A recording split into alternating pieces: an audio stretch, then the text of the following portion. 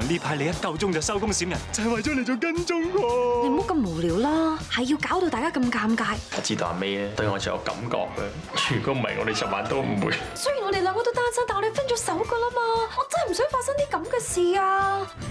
愛回家之開心速递，今晚八點，翡翠台。